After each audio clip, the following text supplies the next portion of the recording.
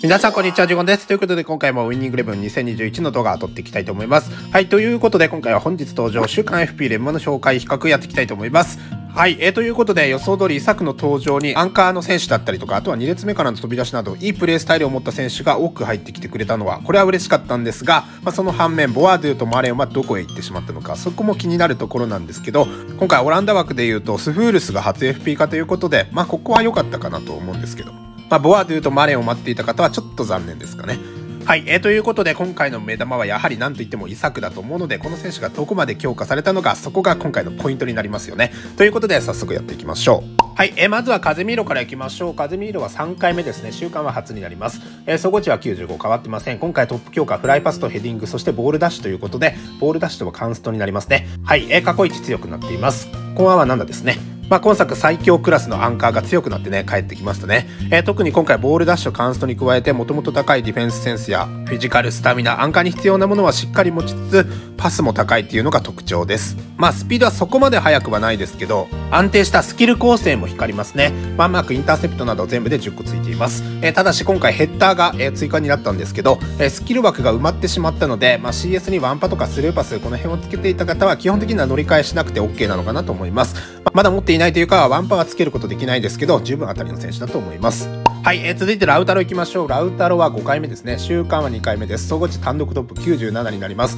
えー、今回トップ強化、オフェンスセンス、決定力、スピードということで、こちらが高くなっています。はい、後の項目も基本的にはプラス1が多くなっているので、一番強くなってますね。逆足両方とも3で、後半は7ですね。万能ラインブレーカーで得点力の強化もありつつ、足元パス、スピード、フィジカル、ボディコンにスタミナと、穴のない能力構成ですね。まあ、逆足3、後半7、まあ、ライブアップデートも比較的乗りやすいですし、最近 A の週も多いですね。えー、今回能力で言うと最強で間違いないんですけど、こちらもスキルですね。えー、今回無回転シュートが追加になって、スキル追加枠を埋められてしまったので、まあ、以前のものにスパサブとかダブルタッチとかいいスキルつけていれば、まあ、そのまま使い続けてもいいのかなと思います。まあ、能力的には基本的には乗り換えたいですね。はい、えー、続いてムリエル行きましょう。ムリエルは CS 出てますね。えー、そちらとの比較、総合値変わらず94です。今回ドリブルとフライパス、決定力がトップ強化になっています。後の項目で言うと、上限の関係でマイナス1がいくつか出ているのと、キック力が前回のトップ強化ということで、こちらが下がったという形です。まあ、能力的には今回ですかね。今回決定力が90乗せたのもいいところです。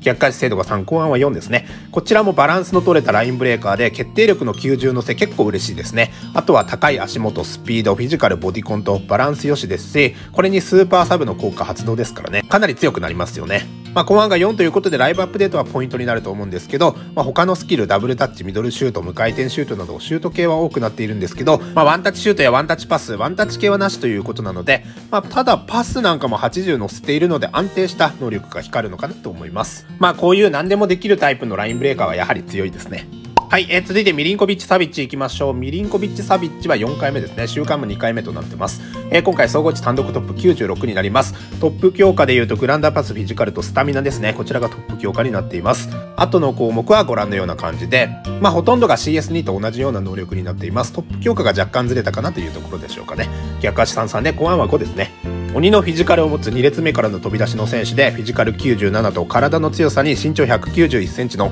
身長191センチの大型でありながらボルコンがカンストなど足元は繊細ですと。パスや決定力なんかもあってディフェンスと能力も高めということでまあ気になるところで言うとスピードとかあとはコマンが5というところですかね。まあ豊富なシュートスキルでゴールも狙えたりとかワンパーを持っているのでしっかりつなげたりとかゴール前でいろんなことができる選手としても重宝しそうかなとは思います。まだ持ってないという方は当てたいですね。はい、えー、続いてイサク行きましょう。このガチャ一番の目玉選手と言ってもいいと思います。初 FP 化ですね。えー、総合値は8上がり97になります。今回トップ強化、オフェンスセンス、決定力、そしてボディコンということになってます。後の項目も3から5上がりと強カーバーはやはり多く取ってくれましたね。逆化姿勢とか3、後半は4ですね。若手スーパーサブの待望の初 FP 化ということで、ま、能力も怪物級ですね。高い得点能力に足元も90近く、快速でありながら、身長190センチにフィジカルボディコンも持ち合わせる、21歳ラインブレーカー、爆発的な能力。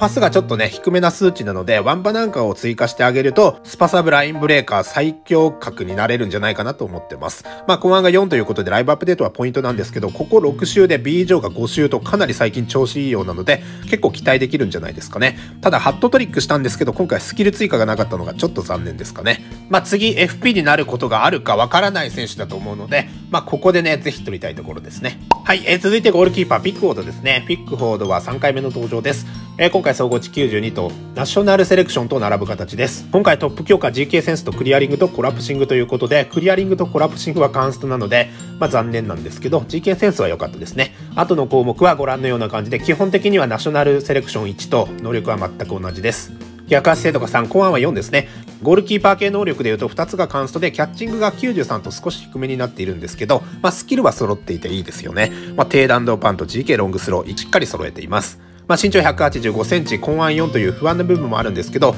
街デーとかオンチャレ用として考えれば安定して使えるんじゃないかなと思います。まあ、ナショナルセレクションからは乗り換えなし、CS からは乗り換えてもいいかもしれませんね。はい、え続いてマリパンいきましょう。マリパンは2回目で週間出てますね。そちらとの比較なんですけど、総合値変わらず93です。今回トップ強化、ボールキープとディフェンスセンス、ボールダッシュとなっています。ディフェンスセンスとボールダッシュは前回もトップ強化だったので、能力は変わらないようになっていて、なのでボールキープか決定力の違いということで、まあどちらかというと誤差でボールキープかなっていうぐらいですかね。逆足両方とも2で、コアは5ですね。身長193センチにフィジカル98、高さとフィジカルは十分にあって、ディフェンス能力も90超えと悪くないですよね。まあ、コマンが5、あとはスキルにインターセプトがないので、ここは追加したい方がいいのと、あとはスピードもそこまで速い選手ではないので、まあ、万人受けではないかもしれませんね。まあ、DMF で使えたりとか、この辺はいいところだと思いますし、まあ、能力は今回なんですけど、前回の週刊 FP に関しては、インターセプトを持っていたので、こちらはま基本的には乗り換えはいらないんじゃないかなと思ってます。まあ、能力も誤差ということで、基本的に前回も当たって、今回も当たったという方は乗り換えはなしでいいんじゃないかなとは思ってますね。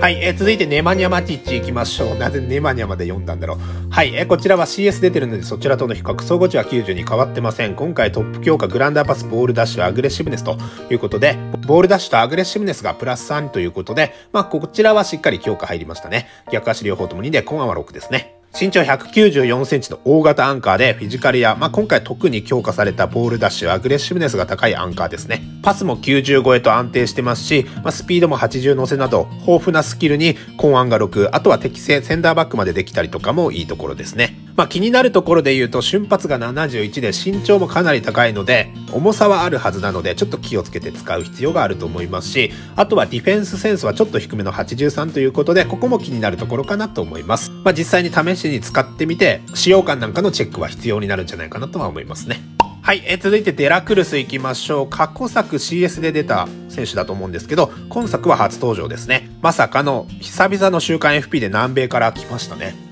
初 FP 化で総合値はノーマルと比べると3上がり93になります。今回グランダーパスとフライパス、キック力がトップ強化になっています。後の項目は23上がりですね。逆足33で後半は6ですね。95を超える能力はないものの足元からパス、スピード、スタミナ、ディフェンスの能力まで幅広く能力が高くて万能タイプですね。まあ決定力がもう少しあればサイアンドコーでしたよね。まあそして適正の広さはいいですね。まあ追加しないといけない部分は多めなんですけど、フォワードから中盤まで幅広くポジションをこなせるっていうのは嬉しいところです。まあ、逆足とか根案に、えスキルも優秀ですね、えー、今回スキル追加でワンタッチシュートが追加になったのは熱いんですけど、スキルが10個となり埋まってしまったのは、ちょっと他のスキル、ワンパなんかが付けられなくなったのはちょっと痛いですね。ダブルタッチ、ミドルシュート、スルーパスなど、いいスキルは揃えているのが印象的です。まあ、身長167センチと結構小柄なので、小回りはね、かなり効くんじゃないかなと思います。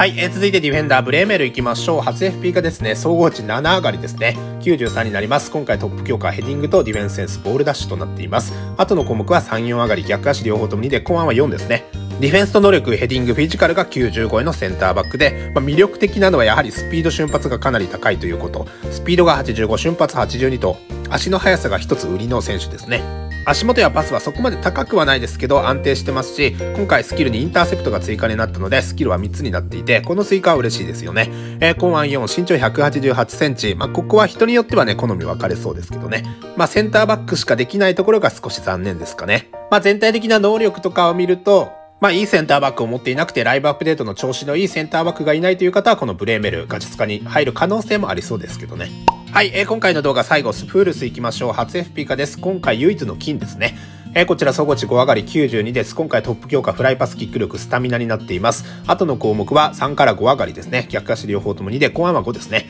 ディフェンスセンスからアグレッシブネスまで90超えと、あとはフィジカルが92と、センターバックとしては悪くない能力ですし、あとは身長190超えの身長も嬉しいですね。えー、後半が5なんですけど、アヤックス所属ということでライブアップデートも比較的期待できそうですよね。まあ確かにスピードはもう一つっていうところはあるんですけど、まあこの選手の適正ポジションで言うと一つ前の DMF なんじゃないかなと思っていて、すでに本適正ついてますし、特にパス値なんかが高いんですよね。90前後となっているので、まあ今回スキル追加にミドルシュートなんかの追加もあったんですけど、まあ、得点をより狙える中盤での起用が向いているんじゃないかなと思いましたね。まあ、中盤起用ならワンパとかセンターバックで使うのであればマンマーク、この辺も追加したいところですかね。この安定した能力にライブアップデートも比較的乗りやすいということを考えると、ちなみに今週この選手オランダに行けば確定になるんですけど、まあそんな悲観することはないんじゃないかなと思いましたね。はい、ということで今回は週刊 FP のレバーの紹介比較やってきました。いかがだったでしょうか？とりあえずイサク狙ってほしいですね。もう次あるかないかわからない選手だと思うので、絶対ここで当てておくべきですね。